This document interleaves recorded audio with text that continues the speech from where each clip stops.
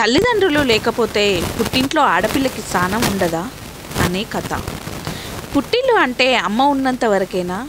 అన్నయ్య అని అడిగింది నా చెల్లెలు దీప. ఇన్ని రోజులు నేను అడగలేని ఆ మాటను నా చెల్లెలు అడిగేసరికి నా కళ్ళు ఆశ్చర్యంతో తన వైపు చూశాయి. దీప అడిగిన మాటలకి మా అన్నయ్య తలదించుకున్నాడు. మా వదిన నోట మాట రాలేదు. వచ్చిన బంధువులు అందరూ దీప అడిగిన మాటకి షాక్ తిన్నారు. నేను మాత్రం దీపవైపు చూస్తూ మెల్లగా గతంలోకి జారాను. మా నాన్నగారు రాఘవేంద్రరావు గారికి చుట్టుపక్కల నాలుగు గ్రామాల్లో మంచి పేరు ఉంది.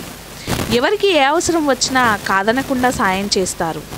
అమ్మ పేరు మహాలక్ష్మి. పేరుకు తగ్గట్టే ఎప్పుడూ నిండుగా ఉంటుంది. ఎప్పుడు మా నాన్నగారు అన్నయ్య నేను చెల్లెళ్ళు ఇల్లు ఇవే తన ప్రపంచం. ఎప్పుడు గడప దాటి బయటకు వెళ్ళేదే కాదు. అమ్మకి మొదటి కాన్పులో అన్నయ్య రాజేష్ పుట్టాడు. రెండవ కాన్పులో నేను పుట్టాను. నేను పుట్టిన రెండు సంవత్సరాలకి చెల్లెలు పుట్టింది. మా ఇద్దరిని ఎప్పుడూ నాన్న నా ఇంటి మహాలక్ష్ములు అనేవారు. అన్నయ్య కంటే మమ్మల్నే ఎక్కువగా చూసుకునేవారు. మేమంటే అన్నయ్యకి అస్సలు ఇష్టం ఉండేది కాదు. మా ఇద్దరిని ఎప్పుడూ కొడుతూనే ఉండేవాడు. నాన్నగారు ఇంటికి రాగానే అన్నయ్య కొట్టిన సంగతి చెబితే నాన్నగారు అన్నయ్యని పిలిచి కోప్పడేవారు. ఇంటి అప్పటి నుండి అన్నయ్య దృష్టిలో శత్రువులు అయిపోయాం మేమిద్దరం. ముగ్గురిని బాగా చదివించి ఘనంగా పెళ్ళిళ్ళు జరిపించారు. పోయిన ఏడాది దైవ దర్శనానికి వెళ్తుండగా కార్ యాక్సిడెంట్లో అమ్మా నాన్న ఇద్దరు చనిపోయారు. అప్పటి నుండి మా అన్నయ్యకి అడ్డు అదుపు లేకుండా పోయింది. అమ్మా నాన్న చనిపోయినప్పుడు కూడా ఆ కార్యక్రమాల్లో కూడా నోటికి వచ్చినట్లు తిట్టాడు.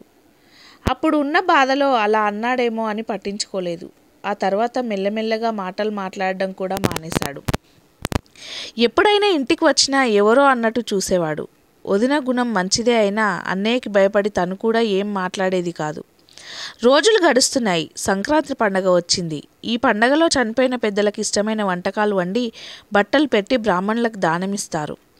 అందుకే నేను చెల్లి ఇద్దరం పుట్టింటికి వచ్చాం. మేము వచ్చినప్పటి నుండి అన్నయ్య మొహంలో ఆనందం లేదు. మేము లోపల ఉంటే తను బయట ఉంటున్నాడు. మేము బయట ఉంటే తను ఇంట్లో లోపల గదిలో ఉంటున్నాడు. వచ్చినప్పటి నుంచి ఎంత మాట్లాడాలని ప్రయత్నించినా కుదరలేదు.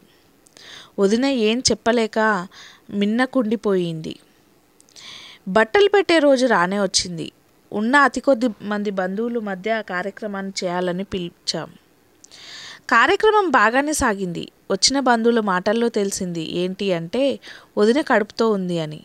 ఆ విషయం తెలియగానే మాకు కొంచెం ఆశ్చర్యంగానే అనిపించింది. ఎందుకంటే వదిన కడుపుతో ఉన్న సంగతి అసలు మాకు తెలియనే తెలియదు అన్నయ్య కానీ వదిన కానీ ఒక్క మాట కూడా చెప్పలేదు.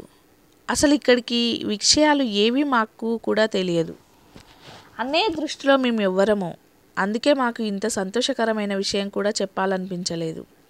మొదట కొంచెం బాధపడిన ఆ తర్వాత మా అన్నయ్య తండ్రి కో కాబోతున్నందుకు సంతోషంగానే అనిపించింది.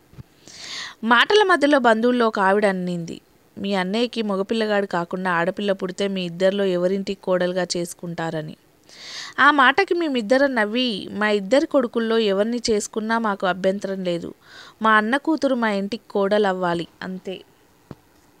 ఆ మాటకి కొంచెం దూరంలో ఉండి మా మాటలు వింటున్న మా అన్నయ్య ఒక్కసారిగా అంత ఎత్తున లేచాడు. అసలు మీ ఇద్దరు దరిద్రపు మొహాల్ని చూడటమే నాకు ఇష్టం లేదు. ఏదైనా పండగ అంటే చాలు ఏదో మీ సొంతిల్లు అన్నట్టు ఎగేసుకొని వస్తారు. అసలు మీలాంటి దరిద్రపు గొట్టోళ్ళకి నా బిడ్డని మీ ఇంటికి పంపడం కూడానా? మీరు రావడం నాకు ఇష్టం లేదు. అమ్మ నాన్న ఉన్నప్పుడు అంటే సరే ఇప్పుడు వాళ్ళే పోయారు.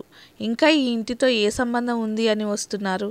కార్యక్రమం అయిపోయిందిగా ఇక మీ కొంపలకు మీరు దయచేయండి అన్నాడు. కోపంతో గట్టిగా ఇంతసేపు అన్నయ్య మాట్లాడిన మాటలకి మా ఇద్దరి కళ్ళల్లో నీళ్ళు దారాలుగా కారుతున్నాయి. అందరి ముందు అలా మాట్లాడేసరికి వాళ్ళ ముందు మాకు తల కొట్టేసినట్టు అయింది ఇంతలో మా చెల్లెలు దీప మాట్లాడడం మొదలుపెట్టింది. ఏంటన్నయ్య ఇన్ని రోజులు ఇంత పగ కడుపులో దాచుకున్నావా? మా మీద ఇంత పగ ఎందుకు అన్నయ్య మేమేం చేశామని? చిన్నప్పటి నుంచి మమ్మల్ని నువ్వు కొడుతుంటే అన్నయ్య అనే హక్కుతో కొట్టావు అనుకున్నాం. అసలు నీకు మేము కాదు అవసరం లేదు అని ఆ ఈరోజే తెలిసింది అన్నయ్య. అయినా పుట్టిల్లు అంటే అమ్మ ఉన్నంత వరకేనా అన్నయ్య? ప్రతి ఆడపిల్లకి మెట్టినింట్లో ఏదైనా సమస్య వస్తే అమ్మా నాన్న లేకపోయినా నాకంటూ ఒక పుట్టినిల్లు ఉంది అనే ధైర్యంతో ఇక్కడికి వస్తుంది. అన్నే అయ్యి ఉండి నువ్వే ఈ ఇంటితో ఏ సంబంధం ఉండి వస్తున్నారంటే నీలోనూ మాలోనూ ప్రవహించేది నా నాన్న రక్తమే కాబట్టి నీకు మా మీద ప్రేమ లేకపోయినా నీ మీద మాకు ప్రేమ ఉంది కనుక అంతేగాని ఈ ఇంటిలో ఏదో వాటా కోసం కాదు అన్నయ్య.